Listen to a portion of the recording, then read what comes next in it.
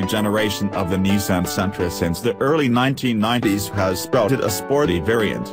Most of these hotted-up small cars have worn the SE-R badge, a name that turned a fair share of credibility after the B13 generation Sentra SE-R captured enthusiasts' hearts, and appeared more than once on C-DS10 Best Cars list, thanks to its high fun per dollar ratio. Now in the midst of pumping up its Nismo performance arm, Nissan has put that name on the latest Sentra performance variant. It helps make a connection among all of Nissan's performance-oriented offerings, comprising the Juke Nismo and Nismo RS, the 370Z Nismo, and the top dog, 600 horsepower GTR Nismo. But the Sentra Nismo is not a racetrack slaying, high-performance beast.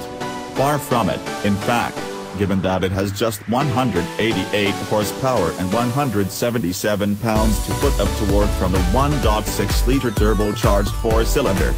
That has less than was offered in the last Sentra SE-R, available from 2007-2012, which had 200 horsepower and 180 pounds to put up to work from a 2.5-liter four-cylinder engine. It has also far short of the Volkswagen GTI, 210 or 220 horsepower, the Ford Focus ST, 252 horsepower, and the Subaru WRX, 268 horsepower.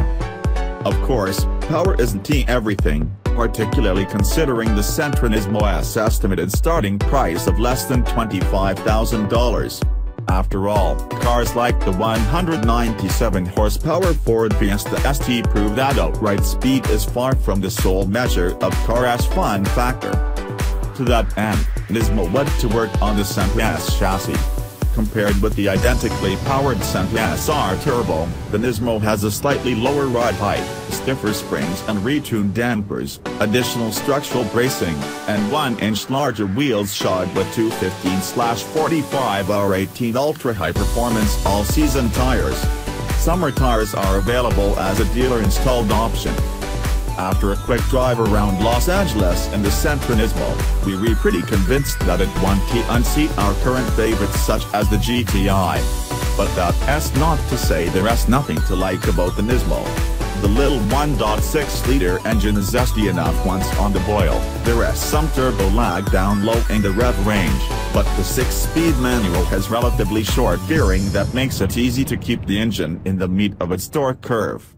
There is also a continuously variable automatic transmission available as a no-cost option. We didn't get the chance to drive a Sentra so equipped, but we can safely say we did pass on that transmission. We do wish Nismo had gone a bit further with the chassis weeks. Turn and could be sharper, and steering feel is nothing to write home about. The Nismo's suspension is noticeably stiffer than that of lesser Sentras, but its tuning seems to negatively impact ride quality more than it improves handling prowess. The lightness of controls the steering, shifter, and clutch combine to make the Sentra feel tossable even at a sedate pace, but push harder and its economy car roots become all too obvious. And therein lies the key issue with the Sentra Nismo, underneath. It is still a Sentra, a car that placed the distant last in our most recent small sedan comparison. The shortcomings of the Sentra's basic package including its cheap-feeling interior and gawky exterior proportions mostly carry over, although the Nismo version has great sport seats, aggressive body kit, and attractive wheels help to mitigate those concerns.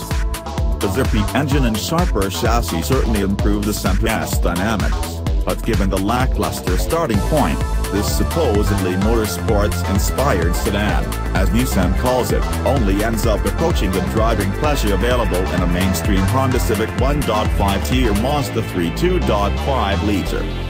So the sportiest Sentra S&T live up to the promise of its performance ambitions, merely managing to get into the conversation with the rest of the compact herd to say nothing of the upper echelon sport compacts, compacts,